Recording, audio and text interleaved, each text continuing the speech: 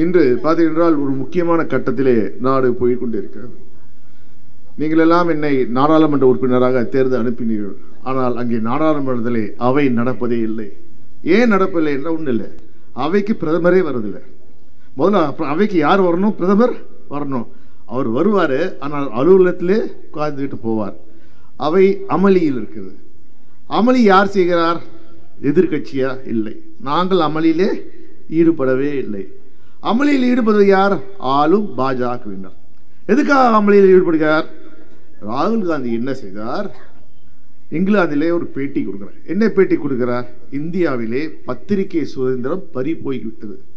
மக்கள் தங்கள் கருத்தை எளிதாக சொல்ல முடியவில்லை. இந்தியா வந்து மிக ஒரு இருட்டான பாதையை நோக்கி செல்கிறது. அதுக்கு காரணம் யார் என்றால் இன்றைய பிரதமர் திரு நரேந்திர மோடியும் அமித்ஷாவும் பாஜகன்றார் இல்லை ஏதாவது தப்பு இருக்கா? ஒரு அவையில் வந்து பாராளுமன்ற அவையில் ஒரு சட்டம் இருக்கு. அவைக்கு வெளியே பேசினதை நீங்கள் அதை பற்றி உள்ளே பேசவே கூடாது. ஆனால் பாஜக என்ன சொல்கிறாங்க ராகுல் காந்தி இந்தியாவை கேவலப்படுத்தி விட்டார்.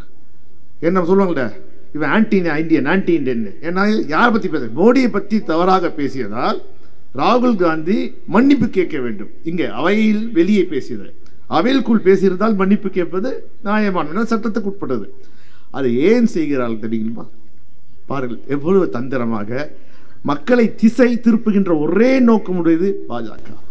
இப்போ மே மாதம் பத்தாம் தேதி கர்நாடக மாநிலத்திலே தேர்தல். அங்கே பாஜக பட்டப்பேர் தெரியுமா? ஊழல் பாஜக கமிஷன் பாஜக. அங்கே பாஜக படுதோல்வியை காணப்போகுது அதை திசை திருப்பி பாராளுமன்றத்தில் ஒரு ஆளுங்கட்சியே அங்கே அமளியில் ஈடுபட்டு கிட்டத்தட்ட பார்த்தீங்கன்றால் பதினஞ்சு மூன்று வாரம் பாராளுமன்றம் நடக்கவே இல்லை. ஆனால் அதை பற்றி யார் கவலைப்பட வேண்டும்? பிரதமராக இருக்கின்ற திரு மோடி கவலைப்பட வேண்டும்.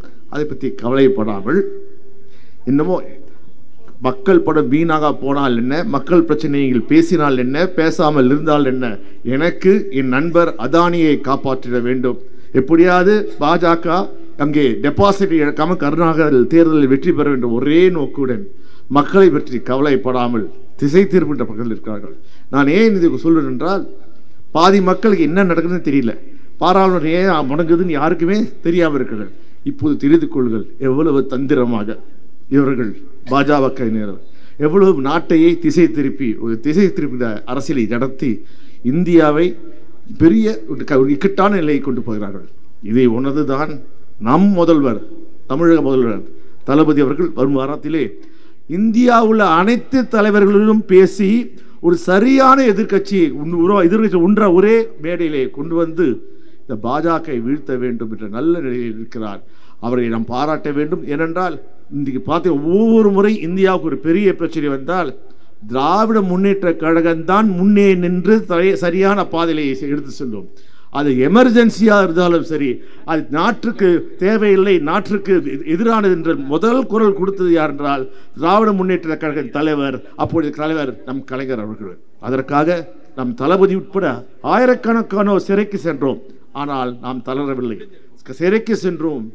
மீன் வரும்போது வீரர்களாக ஜனநாயகத்தை காத்த வீரர்களாக அனைவரும் வந்தார்கள். அதே போலதான் இன்று ஒரு போர் நடக்கிறது. அது முக்கியமான போருக்கு. இன்றைக்கு தலைமையேற்றிருக்கிறவர் யார் என்றால் நம் முதல்வர் தலைவர் தளபதி அவர்கள்.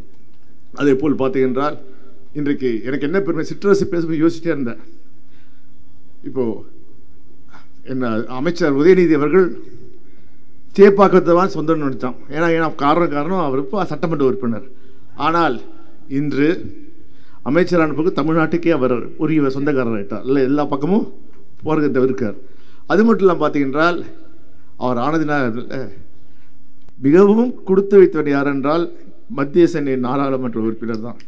ஏனென்றால் மூணு தொகுதிக்கும் பார்த்தீங்கன்னா இன்றைக்கி மாவட்ட செயலர் வேறு வழியே கிடையாது. ஒழுங்காக பண்ணுறார் சிறப்பாக பண்ணுறார் ஏனென்றால் வந்து இந்த மாதிரி பண்ணும்.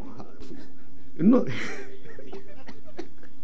இது காரணம் என்றால் இன்னைக்கு இப்போ நான் வந்து பார்த்தீங்கன்றால் நான் சேப்பாக்கம் திருவல்லிக்கேணி மத்திய சேனையில் உட்பட்டு வருவதால் அமைச்சர் திரு. உதயநிதி ஸ்டாலின் அவர்கள் ஒவ்வொரு முறை அந்த தொகுதிக்கு செல்லும்போது நான் செல்வேன். ஒவ்வொரு முறை என்றால் வாரத்தில் மூணு நாள். தொகுதி பக்கம் போயிட்டே இருப்பார். காலபுரி நிகழ்ச்சி சாலை நிகழ்ச்சி அது மட்டும் இல்லாமல் தலைவர் பிறந்தநாள்ல நல்ல திட்டங்கள் அங்கே வாரி வாரி வழங்கப்படும். அது அவரை மாதிரி யாருமே கொடுக்கவே முடியாது. எனக்கு தெரியும் மற்ற தொகுதியில் என்னப்பா சேப்பாக்கத்து மட்டும் தான் வருது. அது குறிப்பாக ஒரு பகுதி இருக்குது ஒரு தெரு இருக்குது இந்த பக்கம் மயிலாப்பூர் இந்த பக்கம் சரி சேப்பாக்க திருவள்ளிகை. ஒரு பக்கம் மயிலாப்பூர் வரும் ஒரு பக்கம் திருவள்ளிக்கேணி பகுதி வரும்.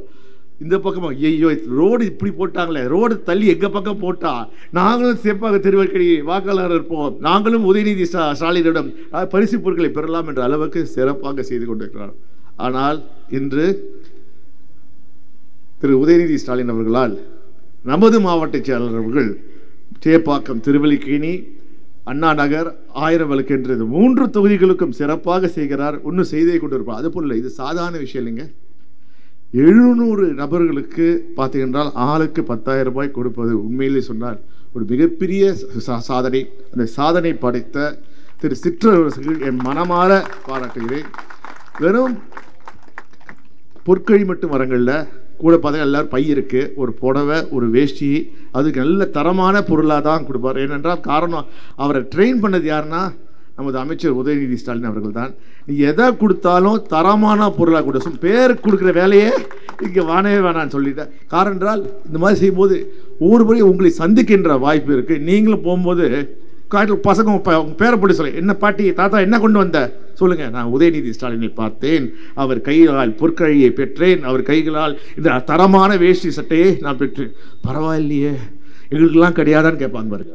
எங்களுக்கு போட்டு நீங்கள் அடுத்த முறை சொல்லும்போது உதயநிதி ஸ்டாலின் பார்க்கும்போது எங்களுக்கும் கொடுக்க சொல்லுங்க என்று கேட்பார்கள்.